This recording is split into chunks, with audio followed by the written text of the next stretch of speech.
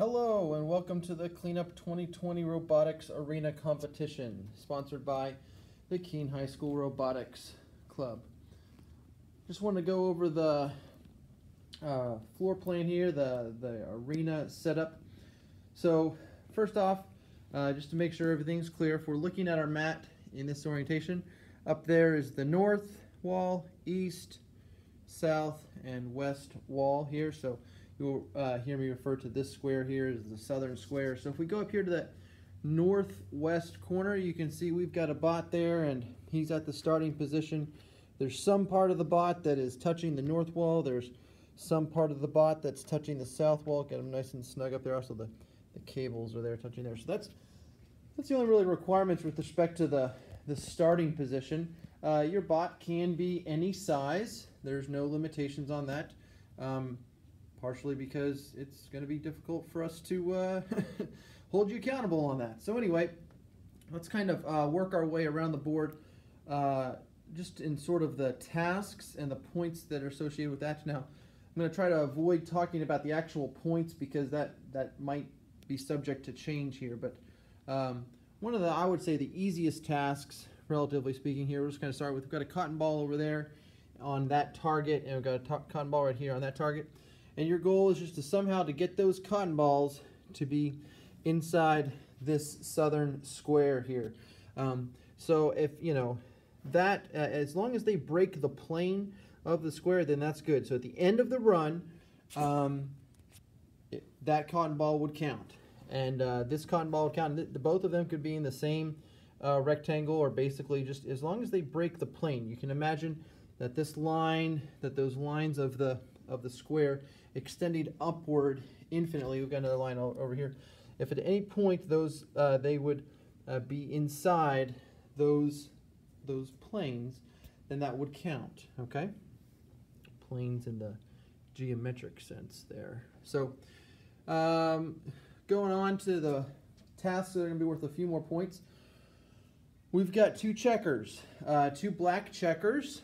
Um, uh, there on the targets, and the goal is to bring those black checkers also into the southern square. Uh, one of them, both of them, that's your call. Uh, to get them somehow in here, they both they could both be on the same side. It doesn't really matter, however you want to to do that. Um, so the theme here, obviously, is cleaning up. So we've got some some dust bunnies, we've got some dead bugs here.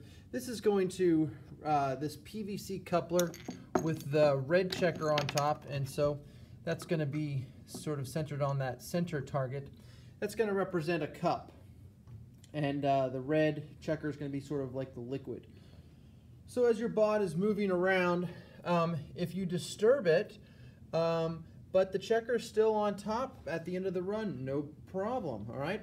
But if you, uh, if you move it too much and it falls off, um, then there's going to be a penalty associated with that. And you can consult with the rules to see exactly how many points uh, that's going to be worth. So, you know, you can bump it, you can nudge it, that's no problem. But if you bump it so much that it falls off, and at the end of the end of the two-minute run, that checker is not on top here, then you're going to uh, be penalized. Now, you know, I mean, if that, that you, can, you can dangle precariously, that that would still count.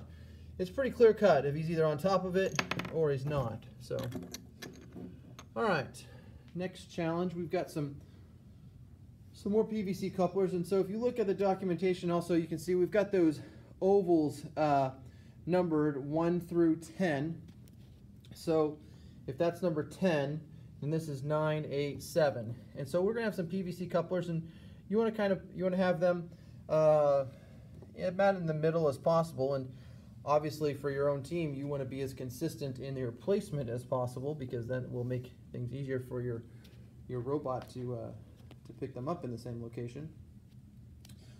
The idea is you have to somehow get a hold of uh, one of these, or as all three of them, or two of them, or whatever, and get them up and over this wall and somehow into that box. Now I'm going to be real lenient on this. It um, as long as some part of the coupler uh, lands somewhere inside this box. And obviously, even if, if it kind of, you know, if it, if it lands and stands, hey, that's great. But if it lands in and then sort of rolls out, that's fine.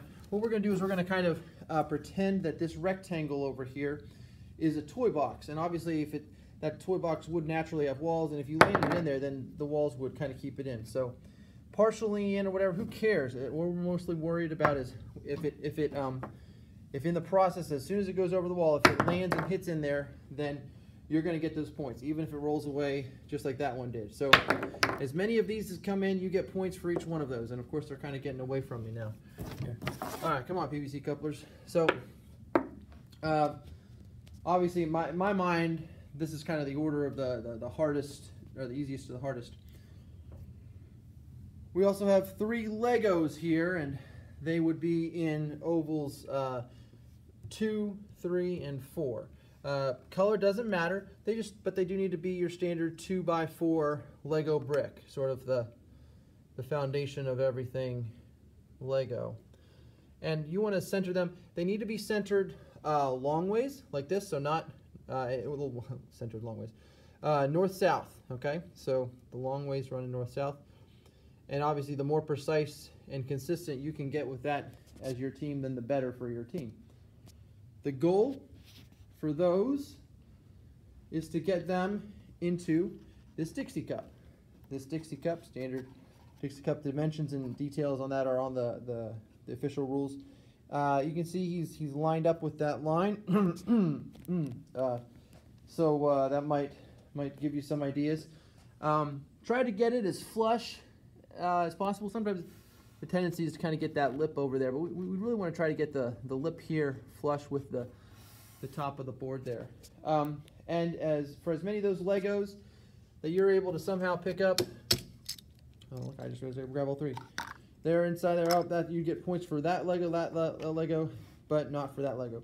If the whole thing falls down for whatever reason, but there's but when it lands, those Legos are still in there. Hey, that's great. So basically, the idea is for most of these um, tasks, we're going to see what is the situation at the end of the two minutes, and um, we will have some some rules um, and probably a future video going on, sort of detailing how to how to do a video recording of the run. Something like I think it'd probably be most natural just to say something like turn your camera on or turn your your phone or your tablet on. Say three, two, one, Lego. That's we'll look at the the timestamp for that. The robot will go and do its run, and then after two minutes, we'll probably say something like go and kind of go over top of that uh, southern square so we can kind of see what's going on. Uh, go over here to see if, uh, I guess we would be able to, if we were holding it in the back here position, we'll, um, we should be able to see really quickly if, if one of them landed in there. We'll kind of give you the benefit of doubt if it lands up against the wall, because by natural, I mean, it would have landed in that, uh, that rectangle. And then, you know, come over here if you decided to uh, go for that Lego challenge. We'll go ahead and grab these guys and put them back in their proper location. And then the only other task remaining is that when that two minute uh, timer is, is over, when, your when your two minutes have expired, um, if um, any part of your bot has, you know, broken the plane uh, of this northwest rectangle um, at the end of your run, then then uh, there's some more points that you're awarded.